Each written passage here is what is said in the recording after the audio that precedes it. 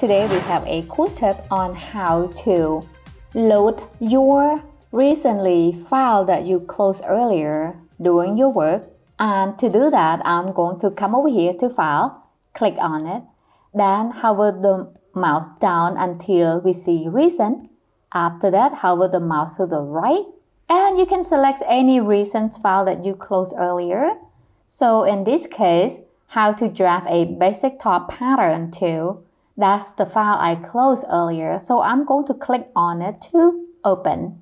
Okay, and here this open project window pop up. I'm going to check open box then under object, I'm going to check garment and avatar. After that, I'm going to click on OK to confirm.